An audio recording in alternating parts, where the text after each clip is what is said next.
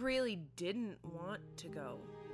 I didn't want to see them lower him into the ground in the spot he'd picked out with his dad, and I didn't want to see his parents sink to their knees in the dew wet grass and moan in pain, and I didn't want to see Peter Van Houten's alcoholic belly stretched against his linen jacket, and I didn't want to cry in front of a bunch of people, and I didn't want to toss a handful of dirt onto his grave and I didn't want my parents to have to stand there beneath the clear blue sky with its certain slant of afternoon light, thinking about their day, and their kid, and my plot, and my casket, and my dirt.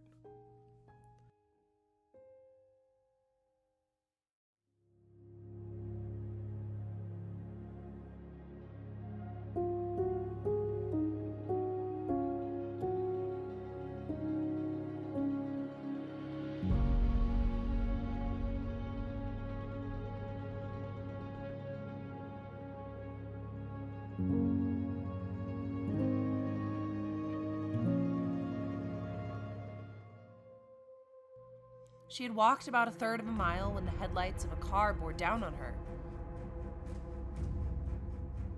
She stepped quickly off the road and ducked into some bushes. The car drove 10 feet more, then screeched to a halt. Ivy scrambled to get deeper into the bush. The driver suddenly extinguished his bright lights, and she could see the shape of a car in the moonlight. A Honda. Will's car. She wanted to rush out of the bushes and into his arms, but she held back. Her mind raced, trying to think what she could tell him without spilling the whole and dangerous truth.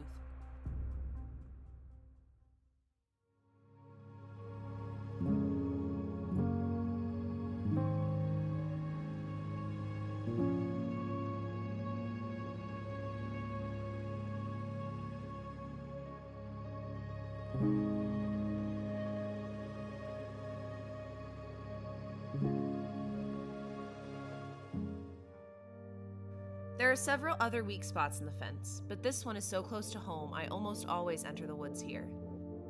As soon as I'm in the trees, I retrieve a bow and sheath of arrows from a hollow log. Electrified or not, the fence has been successful in keeping the flesh eaters out of District 12.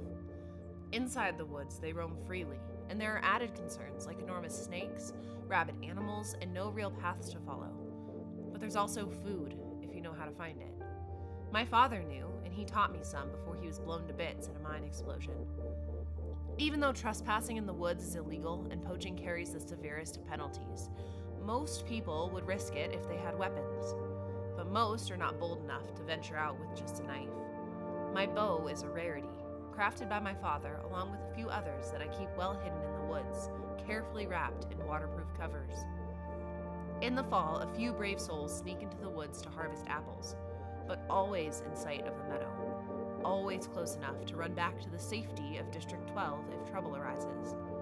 District 12, where you can starve to death in safety, I mutter. Then I glance quickly over my shoulder. Even here, even in the middle of nowhere, you worry someone might overhear you.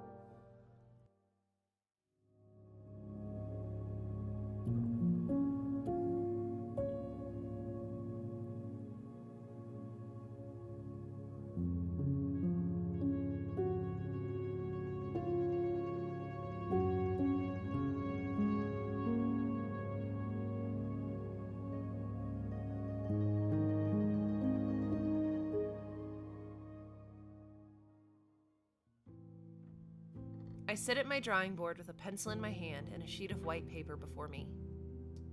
I close my eyes and all I can think of is red. So I get a tube of watercolor.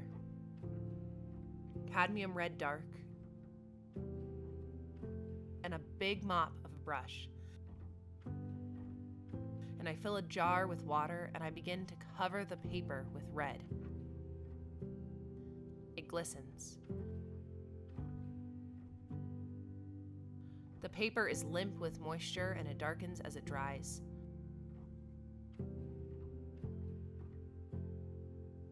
I watch it drying, the smell of gum arabic. In the center of the paper, very small, in black ink, I draw a heart. Not a silly Valentine, but an anatomically correct heart.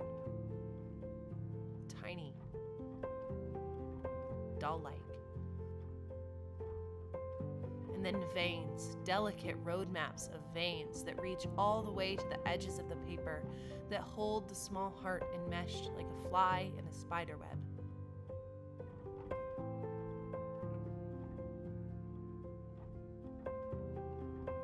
See?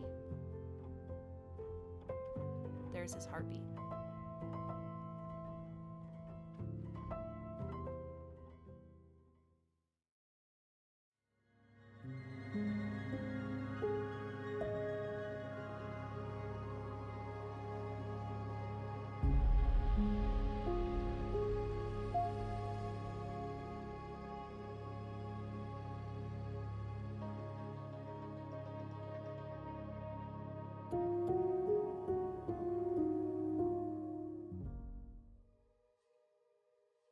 The girl shot up into a sitting position.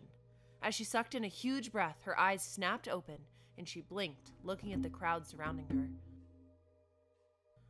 Burning blue eyes darted back and forth as she took deep breaths.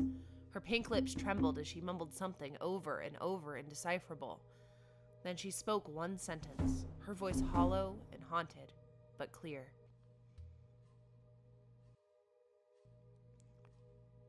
Everything is going to change. Thomas stared in wonder as her eyes rolled up into her head and she fell backward onto the ground. Clutched in her hand was a wadded piece of paper. Thomas moved to get a look. Scrawled across the paper in thick black letters were five words She's the last one, ever.